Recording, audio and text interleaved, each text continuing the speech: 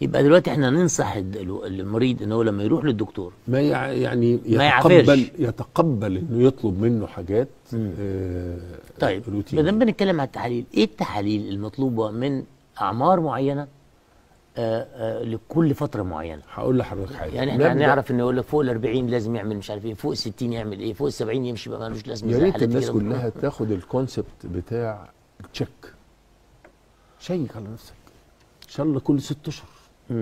شيك. روح حلل لنفسك. في ناس كتير بتعمل إحنا كده. بنتجاوز حاجات كتير. يعني يعني لا يعني إحنا دلوقتي. الناس ما بتروحش تتعالج والناس ما بتروحش بتاخد بتجيب الدواء وتاخد حباية وحباية. التحاليل غالية دلوقتي. التحاليل غالية والدواء غالي فالناس ممكن يعني أنا بسمع الناس يجيبوا شريط الضغط ولا السكر والحاجات دي ياخدوا. يوم ويوم. آه. لا يوم ويوم عشان يوفر فيه. فلو قلنا له بقى بروح اكشف وانت سليم فيعني يضربنا. يضربنا. إنما نقدر نقول إنه المطلوب إيه؟ المطلوب المطلوب عشان نحافظ على. الصحة من العامة. التحاليل من خلال التحاليل دي. من التحاليل الجميلة جدا جدا ورخيصة جدا. صحيح. مش مش مش مرتفعة صح؟ لا. مش كلها مرتفعة صح؟ لا تحاليل ب 10 جنيه مثلا. تمام؟ وسهل جدا ويريحني جدا. سرعة الترسيب آه أنت بتتكلم عن نوع معين. آه. إيه بقى؟ يفيد بإيه سرعة الترسيب يفوت ده؟ بإيه؟ برافو عليك ده جميل جدا. سرعة الترسيب ده كل الناس فاهمة غلط. كويس. والله. نفهم بقى صح. يجي لي بقى العيادة يقول لي أصل أنا ترسيبي عالي اصل أنا عندي ترسيب. خلي بالك بقى اتمرض كمان. أنا اما أقف على الترعة حافة الترعة وأهز المية كده بتتعكر. طبعا. هاخد كوباية. تمام. مية عكره آه. وأسيبها ساعتين. ونشوف صفائها قد إيه. التي- الطين نزل. دي السرعة بتاعت الترسيب. بالظبط. هي دي. الدم كده. الدم زي الطين بالظبط. هجيب دم أحطه في أنبوبة. وأسيبه. أول ساعة نزل كام ملي كام شرطة وتاني ساعة كام يبقى سرعة ترسيب الساعة الأولى كذا والساعة الثانية كذا. تمام. هتقول لي طيب إيه فايدته إيه؟ فايدته؟ طبعا. برافو. نسأل نفسنا سؤال أجمل من كده. إيه اللي خلاه ينزل؟ وإيه اللي خلاه ما ينزلش؟ المواد اللي بتبقى في مواد اللي بتبقى يعني ما أعرفش. اسكت أنت. أنت هتفتي والدكتور قاعد. كويس إيه اللي خلى الدم ينزل؟ يبقى ده لون وده لون. هو لما بيبقى ده بينزل مصفر شوية وده ده. ده أبيض وده دم خالص أحمر. إيه اللي خلى الدم يعمل الحركة دي؟ حضرتك زمان وإحنا في أولى إعدادي فاكر؟ قال لك إزاي تروق المية؟ إحنا بنجيب المية من النيل نقوم نحط عليها شبة.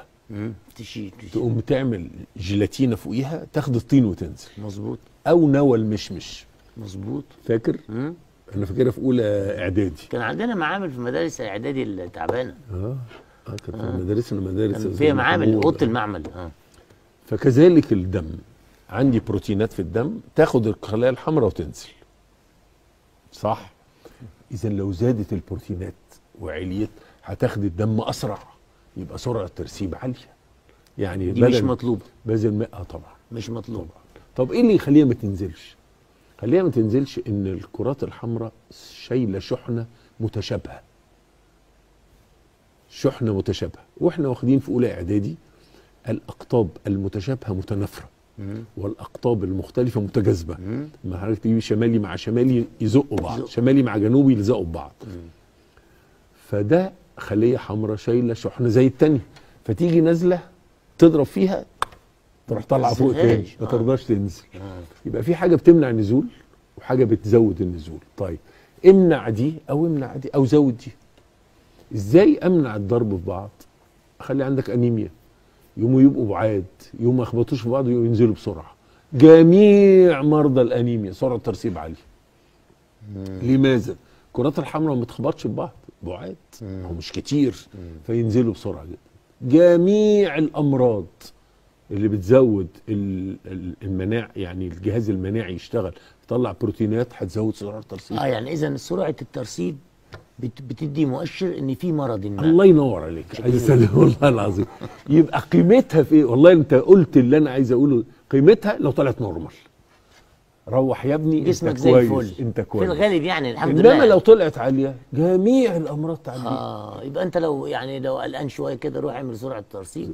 طيب سرعة الترسيب طلعت عاليه واتقال له ابنك سرعة ترسيبه عاليه حلو؟ تمام؟ جسمه ما تنزلش. يفضل هل الواد عيان عمره كله؟ لا. هو خف بس سرعة ترسيبه ما نزلتش. ساعات تعلق.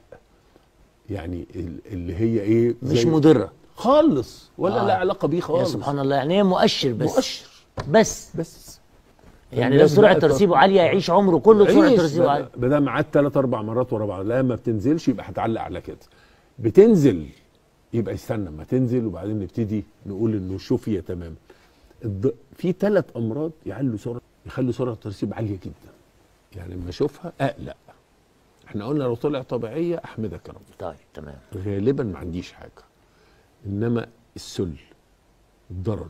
عاليه جدا لسه في سل. آه في طبعا. رجع ها؟ آه. مش رجع فيه لسه في ناس بتتعالج منه بشوف كل مثلا شهر. بس دلوقتي بيتعالج مش زي زمان طبعا. لا لا ده علاجه كأنك بتعالج إنفلونزا. إذا كان فيروس سي يتعالج. اللي هو جوه الخلية. مم. البكتيريا بتبقى بره الخلية سهل قتلها يعني. فالسل يعلي سرعه الترسيب جدا. وأي سرطان ايا كان مكانه معدة قولون دم عظم أي حاجة. يعلي جدا جدا جدا. والحمى الروماتيزمية في الأطفال. يعلي جدا. عشان كده الطفل اللي مفاصله بتوجعه أمه بتبقى قلقانة جدا جدا. إن ده عنده حمى روماتيزمية. نقول لها يا أمي ده اختبار ب 10 جنيه. روح اعملي سرعه ترسيب جت طبيعية. يا أمي انسي الموضوع ده. طلع فيها عالية؟ طلعت عالية نفحصه بقى لأن إحنا متفقين إنه مش شرط. تمام. جميع الأمراض تعلي سرعه الترسيب. مم. فنبتدي نفحص ونعمل اختبار تاني. إنما لو طلعت نورمال خلاص يبقى كويس جدا جدا.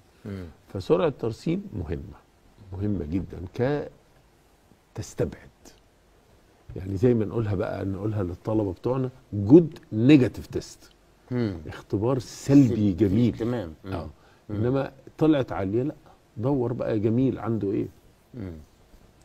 صورة الدم قلنا هنبص على ثلاث حاجات فيش بقى فيها في سرعة الترسيب نفسها أرقام تشير آه ما هي الأنبوبة يعني- اللي بتحط فيها الدم أرقام مدرجة لا يعني في أرقام عن أرقام تدي لا امراض لا يعني هي الارتفاع في الطبيعي حد ذاته آه ال- الطبيعي أول ساعة خمسة الدم يكون نزل خمسة ثم ينزل خمسة سبعة إيه سنتي. ولا إيه؟ آه، آه، مدرج ملي آه, آه، من تدريجة بتاع- يعني. بتاع التحاليل. وسبعة أو ثمانية يعني خ- قول خمسة عشرة.